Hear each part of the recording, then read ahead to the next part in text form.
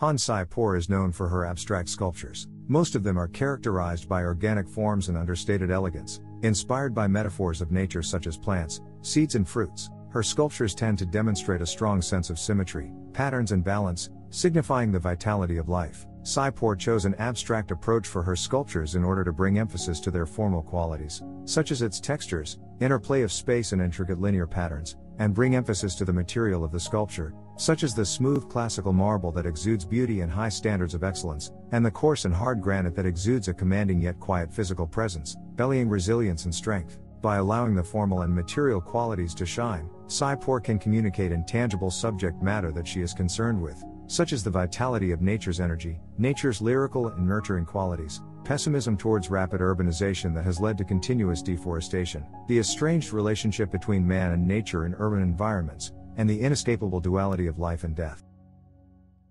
Sai-por wants to signify the denatured, divorced consequences of substituting nature with artifice, that is, the clearing away of the messy rainforest, and reconstruction of a schematized landscape garden she observed that the extensive built up environment in Singapore has adversely affected the continuing survival of native wildlife and plants, many of which have become endangered or extinct.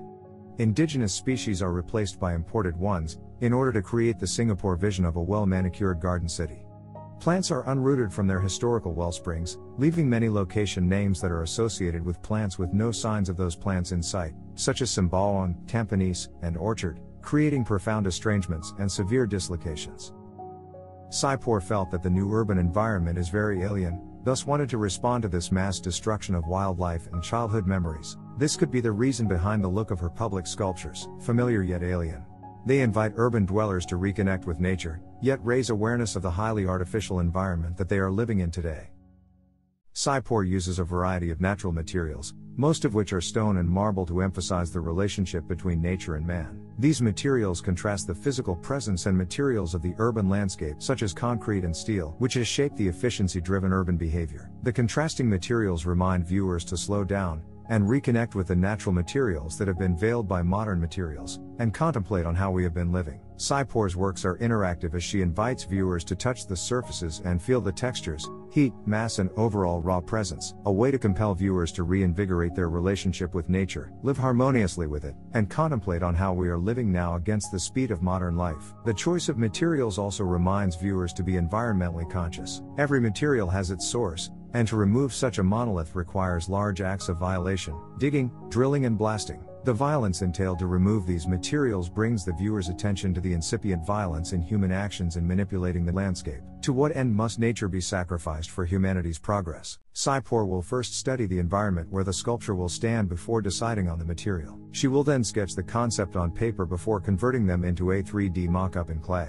Then, she works directly on the material of her choice. She usually chips and carves the material, using power tools to handle large ones. When she hammers, chisels, and drills hard stone, heat, energy, and waves of sounds are created, as though the material's inner soul is freed. She believes that her sculptures have an inner life force struggling to get out, and her carving method helps them to be released. The immediate contact is physical, allowing her to understand the character of nature and develop an intimate and sympathetic relationship with the materials. She gains a deeper understanding of the material, such as its surface texture and whether it is hard or soft. This knowledge guides her to develop the work, and helps her keep the material's original identity. The resulting sculpture is a consequence of the creative physical exchange of man and nature, symbolizing a harmonious balance between the two. She finishes the work with painstaking polishing, exuding smooth, sensual lines that are engaging and tactile. Sai-por is inspired by her childhood memories of playing in the tropical landscape of Singapore that once existed. She hopes to inspire many to see and appreciate the often overlooked beauty of nature and wonder about its place in our lives. She is also inspired by the Chinese philosophy human beings are part of nature,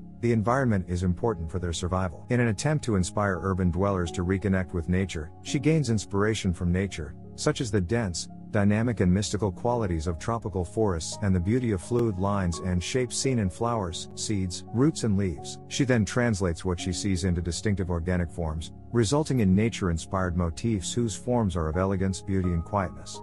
These formal qualities can easily be found in Chinese ink paintings of natural landscapes and flora, showing the strong influence of Chinese culture. She is also influenced by Western sculptors, such as Michelangelo, whose sculptures are made of precise carving and generating sensual and beautiful lines, and Brancusi, whose abstract sculptures exude poetic simplicity.